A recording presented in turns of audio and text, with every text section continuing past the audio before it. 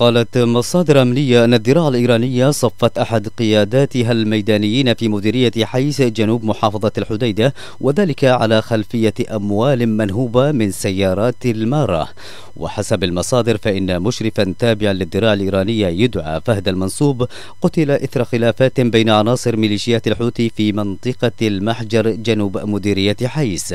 المصادر بينت أن المنصوب وهو المشرف الحوثي على منطقة المحجر جنوب حيس لقي مصرعه على يد أحد أقاربه النافذين في الميليشيات جراء خلافات نشبت حول عمليات ابتزازات مالية جراء السطو عليها من مواطني المنطقة.